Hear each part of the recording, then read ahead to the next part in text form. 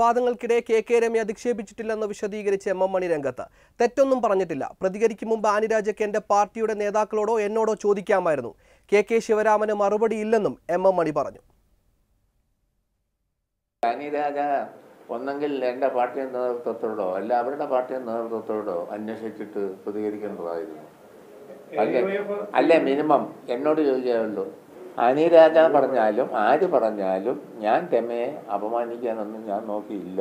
ഞാൻ അവർക്ക് മറുപടി പറയാൻ ഇച്ചിരി വർത്തമാനം പറയണമെന്ന് തന്നെ ഉദ്ദേശിച്ചിരുന്നു ഞാൻ പക്ഷെ അതിന് അവർ അവസരം തന്നില്ല.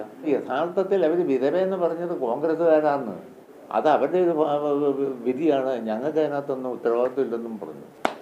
അതിന് ഞാൻ മാപ്പ് എന്നൊക്കെ പറഞ്ഞ എന്താ കാര്യം? കെ കെ ശിവരാമനെന്ന് ഞാൻ പറയുന്നില്ല.